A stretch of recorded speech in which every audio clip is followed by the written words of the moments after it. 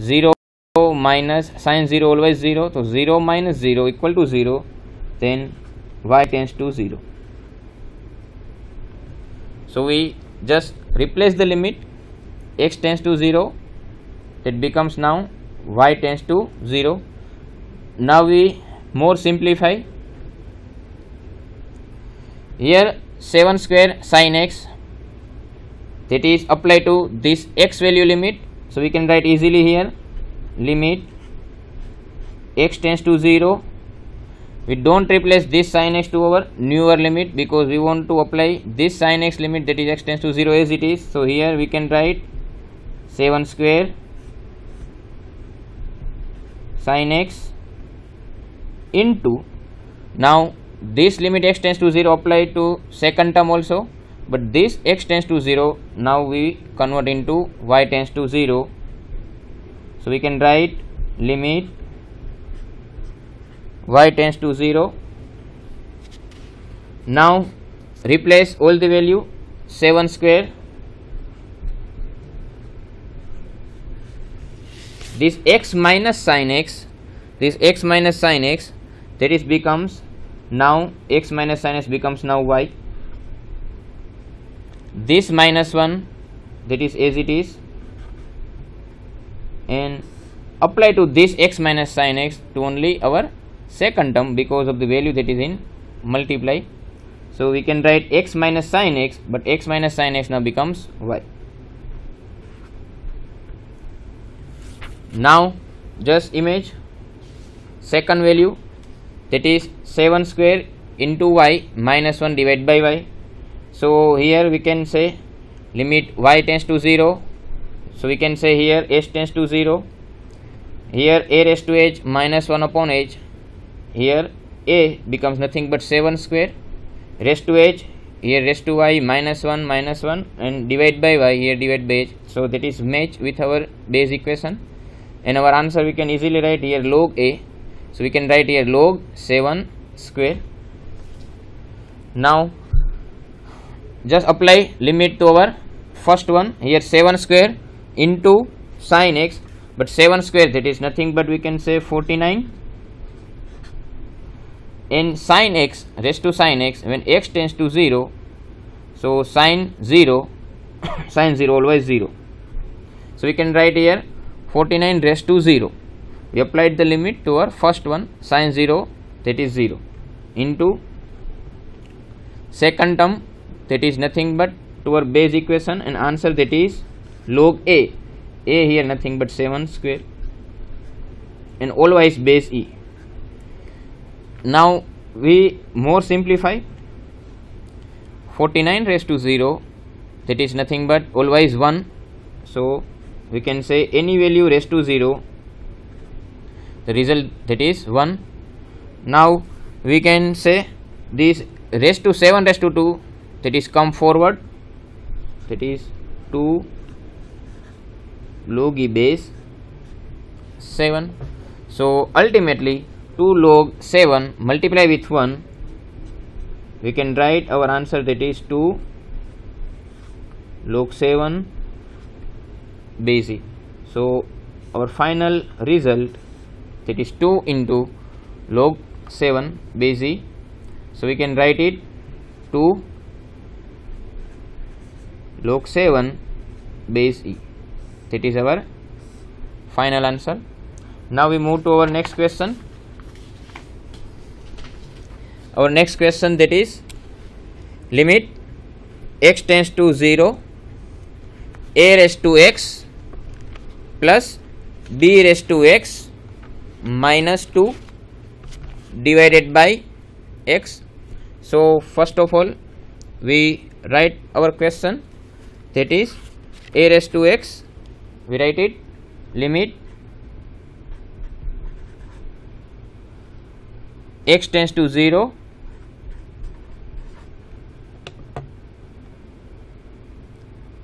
a raised to x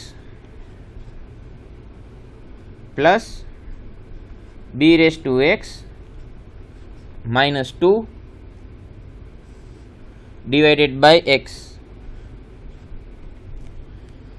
now just compare this one with our base one or main formula. Compare with. Here a raised to x minus 1 divided by h.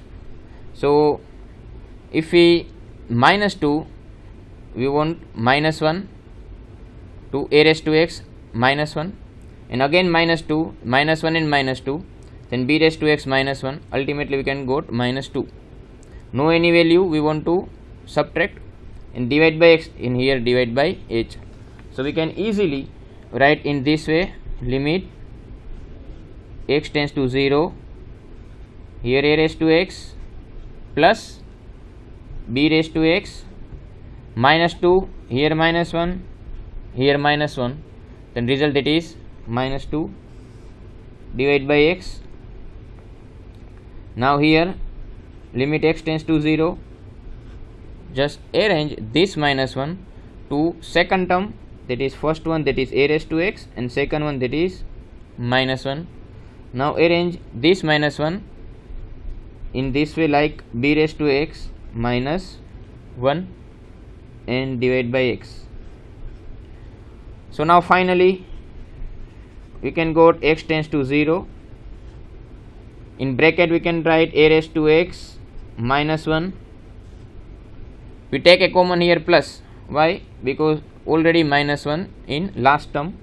So we can write plus b raised to x minus 1 and apply to a raised to x minus 1 h and apply here x.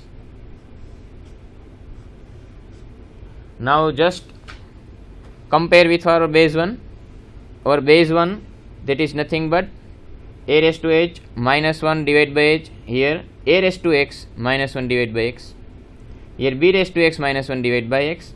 So we can easily write log a. Here log a. And here easily we can write log b. So we more simplify. That is equal to this limit applied to first one. Then the result that is log a. But base e this plus sign as it is here b raised to x minus 1 divided by x.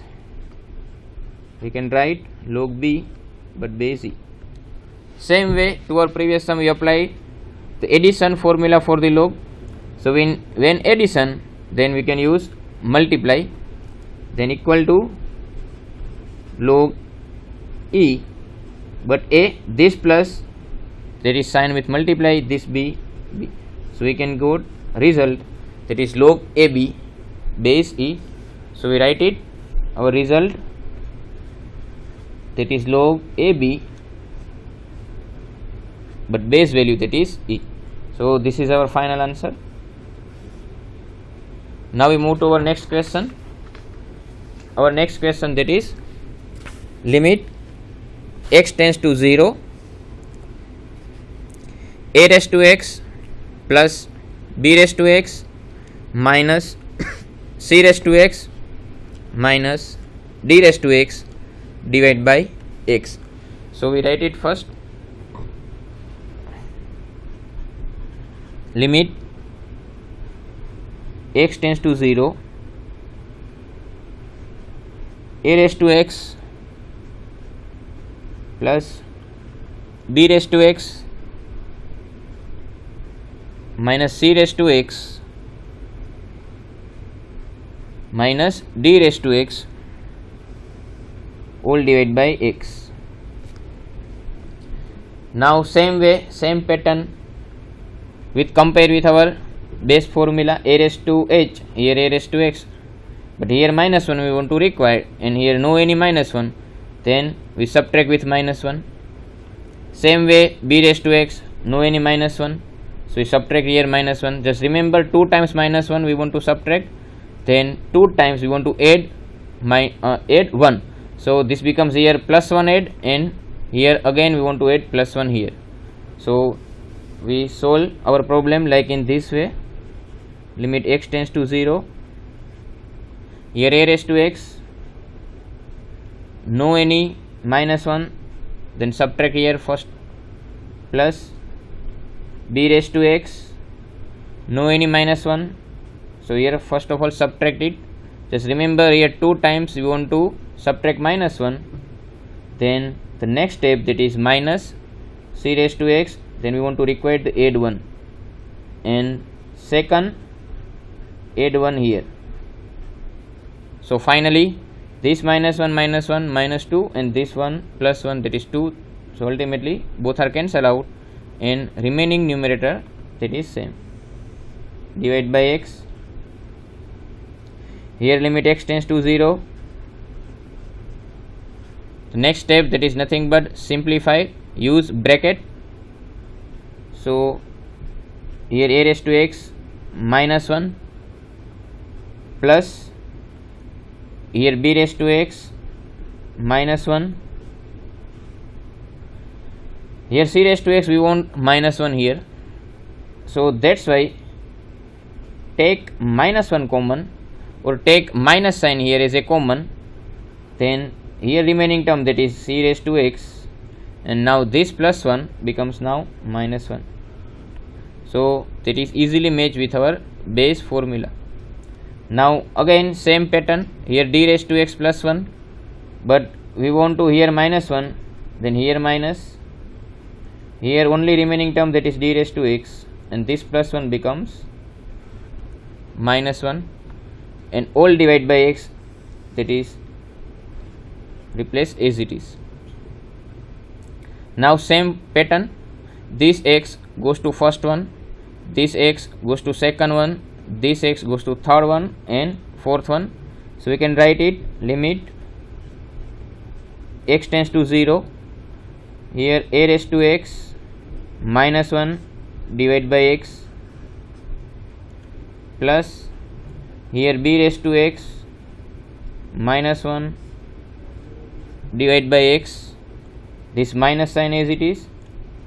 Here c raised to x minus 1 divided by x. And this minus sign again as it is. In here d raised to x minus 1 divided by x now again same pattern. Just compare with our base 1 that is a raised to h minus 1 divided by h. Up to 4 same pattern. So result that is same log a. So here we can write here log a. Here we put log b here we put log c and here we put log d. But remember its sign. So if we apply limit to first one then put the sign equal to here a raised to x minus 1 upon x. The result that is log a. But base e plus sign as it is. B raised to x minus 1 upon x. So result that is log b. But base e minus sign as it is. C raised to x minus 1 upon x. We can write the result that is log c but remember base e and then minus d raised to x minus 1 upon x. The result that is log d but base e. Now apply the now the log rule. When in addition use multiplication. That's why log a plus log b becomes log a plus becomes dot in here b. So we simplify log a plus log b here. Minus.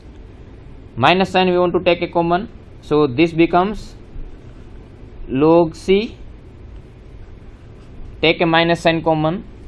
Then this minus becomes now plus because this minus and this plus becomes minus and here log e now again more simplified to our last term that is here log AB remember here base E same pattern minus this plus apply the log rule. Then the result that is log C into D. But remember base E. Now again apply the log rule.